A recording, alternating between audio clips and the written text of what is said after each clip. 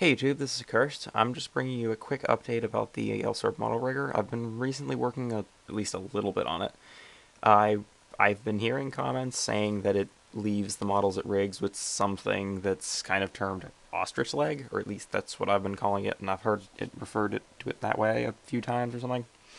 Anyway, so I've been um, also alerted to a fix of that within a very short time of finding out about it.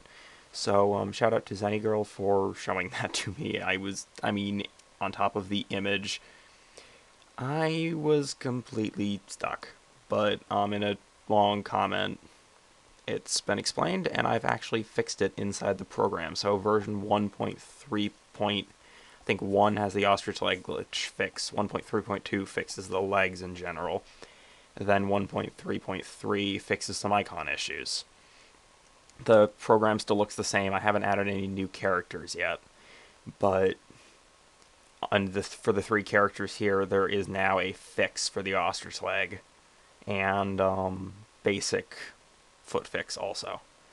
The physics haven't changed. Not not much else has changed. Actually, I don't think the physics have been fully updated to match what the new legs look like, but I'll get around to that at some point. I don't think it's that much of a big deal since the physics on the legs. But anyway, um, on top of that, I fixed a few of the icons. For example, when the program runs, the icon down here will actually show an E.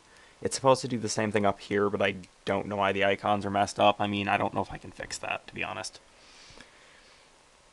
But it has been updated a little bit more, and I advise getting this version because I think it's a bit more stable.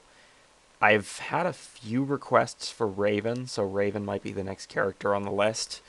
Um, that will not be a direct release. That likely will go to beta testers first. So if you are really interested in getting the Raven part of the model, just send me a like YouTube message or something requesting to be a beta tester. I'll get you the link to the Raven.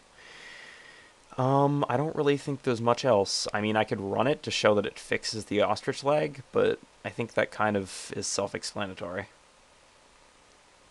Uh, I don't really think there's anything else within this update. It's just a generic fix. So, on that note, um, thanks for watching. I'll be back soon with another update. Sorry this video was short. I didn't really have much else to add in, other than, well, the fix. I mean, the icons are there. Um, I, I don't think there's much else. Oh, actually, another a shout out to another channel. Um, I'm actually going to need a um, second to go get to the channel. Oop, yep, yep, I... thing froze. Oh, there we go. Uh, oops. Shout out to um, this channel also for, um, gotta thank him for giving me a um, shout out in this video here, explaining the um, use of the model rigger itself. Um, especially since it's very difficult to get out there. So, um, thank you very much. And um, I think that's about it. I think I said everything that I need to. Hope I'm not forgetting anything. On that note, um, thanks for watching. I'll be back with more updates soon.